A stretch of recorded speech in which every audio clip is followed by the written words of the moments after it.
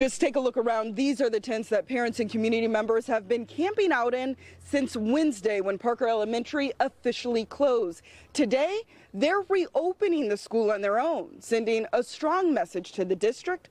They aren't going anywhere. When I say people, you say power. People. Power! Oakland Unified says Parker Elementary is closed, but school is back in session. This is a vision that's coming true. Classes look a lot different with around 20 kids attending and volunteers acting as teachers. Parents say they're doing what they have to to keep their kids safe. This is a very unsafe part of the city. Life is very fast over here. And when you find small pockets where community is close, this is how we shelter our kids. For months, Eslina Tambu, mom of two Parker students, has been protesting the closure of Parker and other OUSD schools with dozens of parents, students, and teachers. We need this school because the other schools are like farther away, which is a more dangerous walk.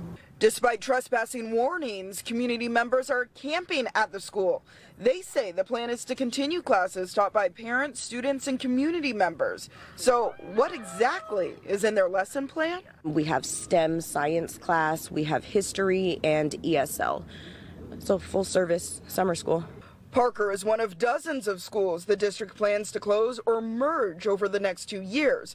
Oakland Unified officials have said it's necessary to address declining enrollment and budget barriers. Today, the district issued a statement saying, in part, we recognize that some individuals are upset at the closure of Parker. We would ask that they choose a different means of protest, one that doesn't disrupt the normal year end procedures of staff and the need to close out the year. Parents say the district closure plan disproportionately affects students of color and is demanding the board reverse its decision. And many say they plan to continue to live and work in the school until changes are made. A school stalemate the group is not giving up on. If they're not going to do right by our children, then we're going to step up and do it ourselves. And they really can't stop us. Um, so they need to just stop trying. In Oakland, Velena Jones, NBC Bay Area News.